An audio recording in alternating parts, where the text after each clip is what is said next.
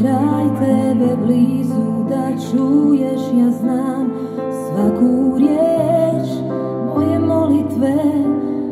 bez obzira koliko daleko sam ti si vjeran i uvijek riječima istine nadu mi daš. Osjećam dodir tvoj Koliko mi značiš ti najbolje znaš I na tvojim rukama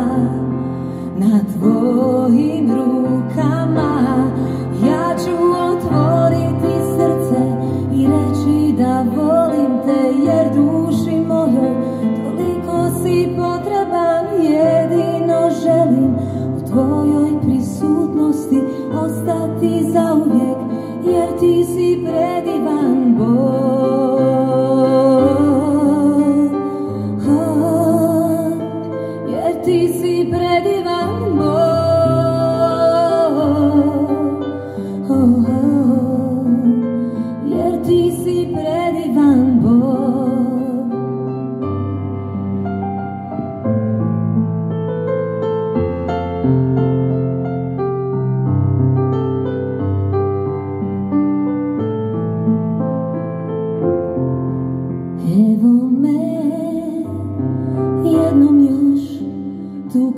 tebe blizu da čuješ ja znam svaku riječ.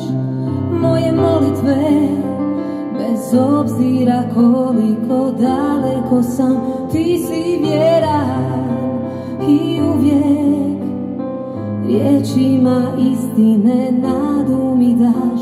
Osjećam dodir tvoj Koliko mi značiš ti najbolje znaš I na tvojim rukama Na tvojim rukama.